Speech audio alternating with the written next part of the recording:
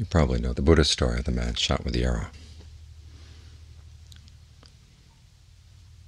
His friends and relatives take him to the doctor, and as the doctor is about to remove the arrow, the man says, no, wait a minute, I've got to know who made this arrow, who shot this arrow, what it was made of, what feathers it was made of, what kind of wood it was made of, before I let you take it out. As the Buddha said, of course, the man will die before the arrow was removed. He told this story to a monk who had come to him and said, look, I'm not going to practice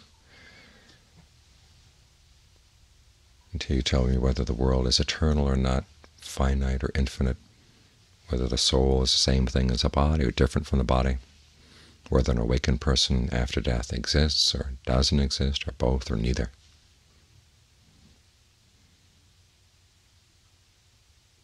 Issues that nowadays a lot of us don't really pay much attention to. But we do tend to have our issues coming to the practice. And so it's good to remember that when you come to the practice, you've got to put your issues aside, personal issues, social issues,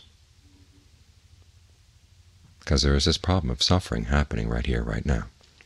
And as those chants we had just now reminded us, aging, illness, and death are normal. Illness and death can come at any time. You don't know how much time you have to practice. So when you know that you do have the time, you give it your full attention. It's a quality in Pali. It's called citta. You really want to be intent on what you're doing.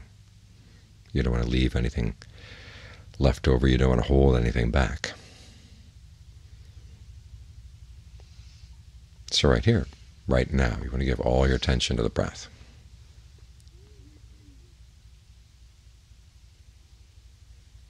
Remembering that the breath is not just the air coming in and out of the lungs, but it's the flow of energy in the body. And if you look carefully, you'll notice that the energy flow has many levels of subtlety and can be felt anywhere in the body. There's that simple background buzz of energy that lets you know where the different parts of your body are.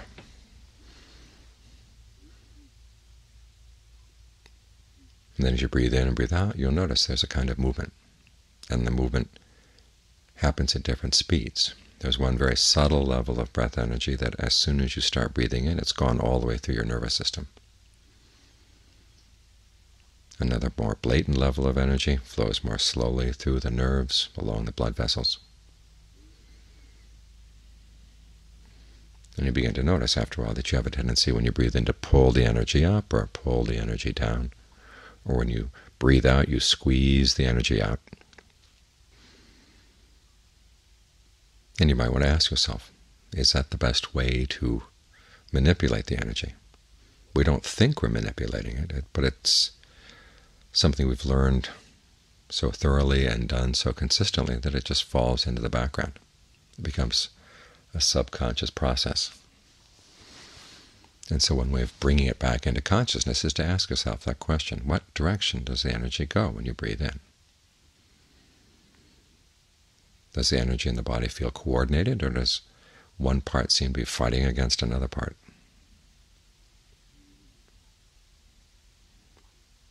Centuries ago there was a Japanese master, Hakuin, who suffered from what he called Zen sickness. And you read his description of it, it was basically the problem where he as he was breathing in, he was pulling the energy up into his head. He learned the treatment for it was to imagine that you had a big ball of butter on your head and it was melting and basically bringing the energy down, down, down, down, your shoulders, down your back, through your hips, down your legs, down to your feet. That's one problem that can develop if you're not really paying attention to how the energy is going in the body as you sit here because if you have an unhealthy habit, then trying to focus on the breath, you will force that habit onto the breathing process. And if you stick with it long enough, it's going to be bad for you.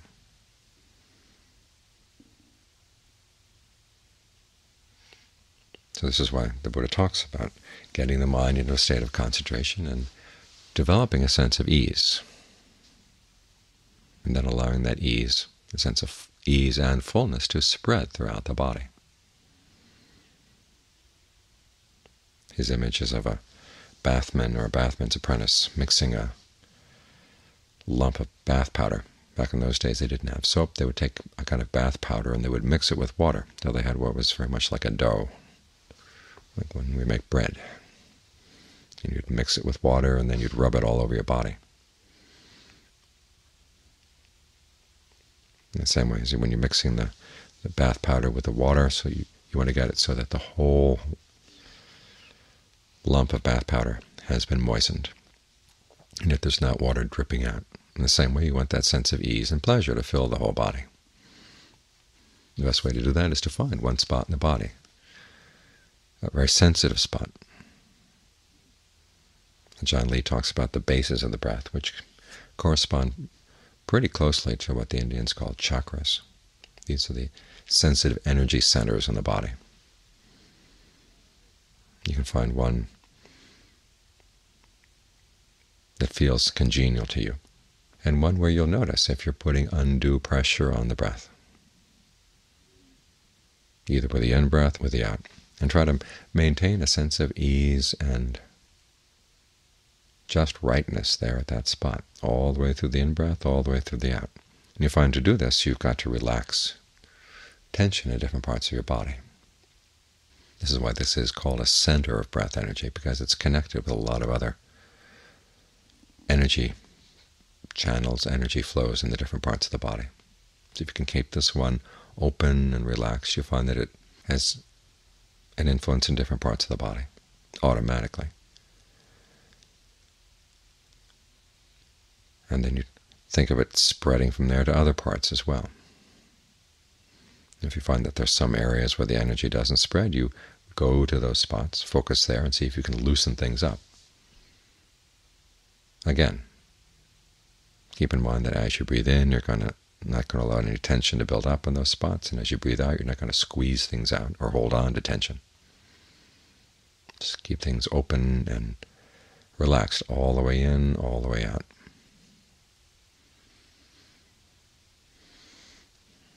And when you've made a survey of the body, everything seems okay, go back to your center spot, and then think of spreading that sense of ease again.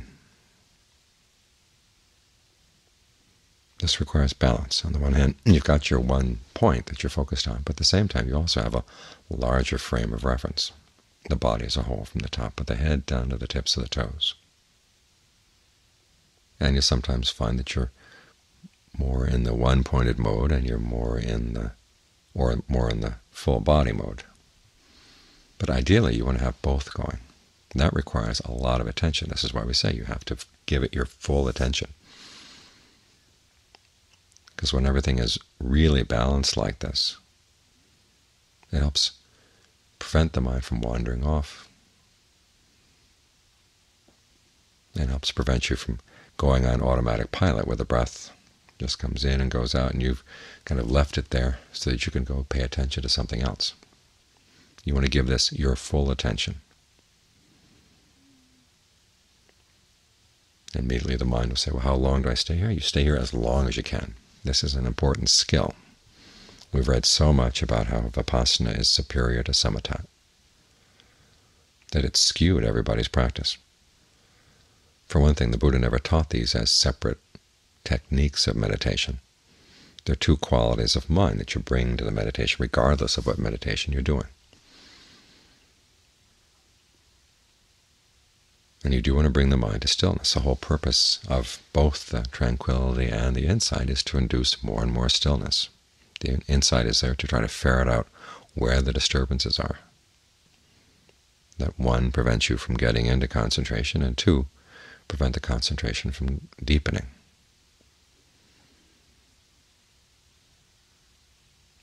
And then three,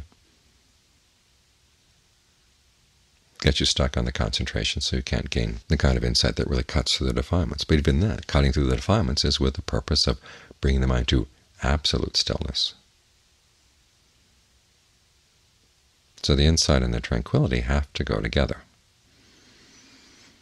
When the Buddha talked about full awakening, he said it's both awareness release and discernment release. Awareness release is the release from passion that comes from getting the mind into really strong concentration.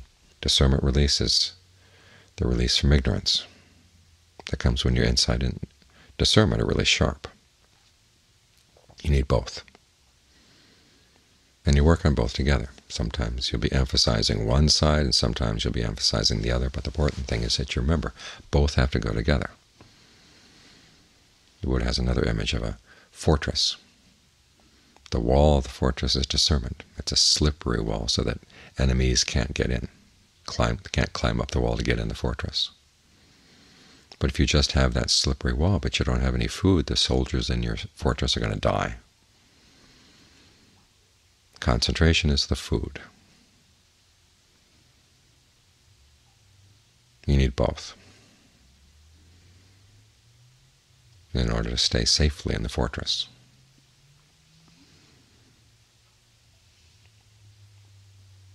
And as you fully inhabit this fortress of the body, if your awareness really does fill the body, there's another image the Buddha has. He said it's like a solid door of hardwood You're trying to throw a ball of string into the door. It won't go into the door. It just bounces right off the door. But if your awareness doesn't fill the body, he said it's like a lump of wet clay. You try to throw a stone into it, the stone goes right into the clay. And those other things can start invading your body. Little thought worlds can develop. Have you ever noticed the fact that when a thought world appears in the mind, there's also going to be a pattern of tension someplace in the body. That part of the body tends to get obscured. But if you're fully inhabiting the body and staying on the level of the body, those thought worlds don't have any niches that they can sneak into, no place where they can take hold. At the same time, you find that you're not picking up energy from other people. As you fully inhabit the body, it's like an energy field develops around the body to protect you from other people's negative energy.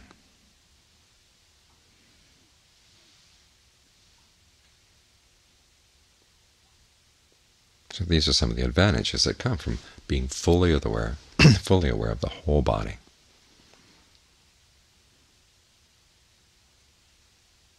Fully in space and fully in time, i.e. continually, without any gaps. So this quality of citta, intentness, is something you want to bring as consistently as possible to your practice. And other issues that you may be carrying around, you want to leave them at the door. Because the big issue in life is the quality of the mind. And if you let it get eaten up by things that are pressing but not important, that yell and scream for attention and make you miss the point that we don't stay here forever. Aging, illness, and death can happen at any time. Those chants we had on aging, illness, and death, and also the chant on the world is swept away, it is not enduring, offers no shelter, there's no one in charge. The world has nothing of its own. One has to pass on, leaving everything behind. It's not negativity for the sake of negativity. It's just a statement of fact to remind you, okay, you've got to be heedful. Death could come at any time. Illness can come at any time. That earthquake that they keep warning us about could hit at any time. Other things could happen as well. The body doesn't have any contracts that it signs saying that it's going to give you as much time as you like, or it's going to give you any fair warning before things start to break down. It just does its own thing. There are lots of ways that sudden and unexpected death can happen, and you want your mind to be prepared.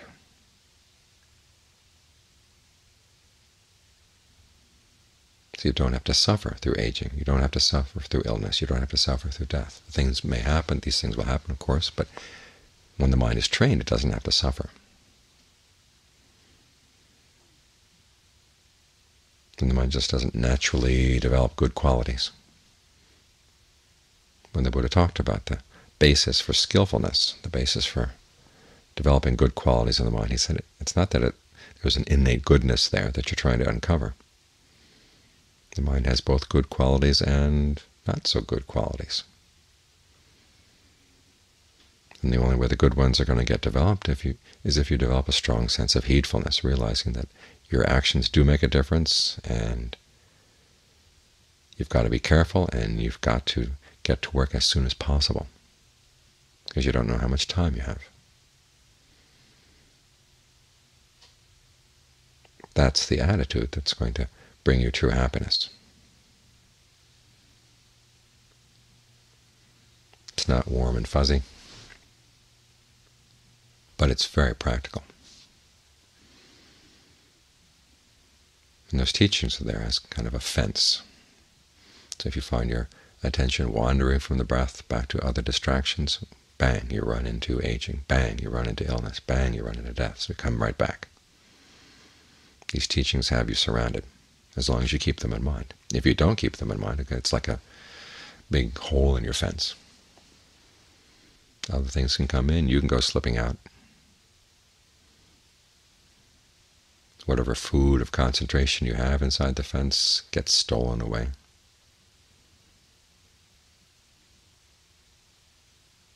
So you've got to be careful.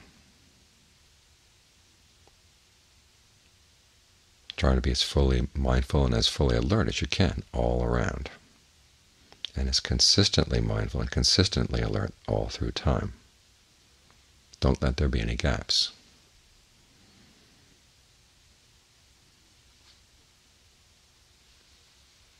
It's only when you give it your full attention that you can get the full results.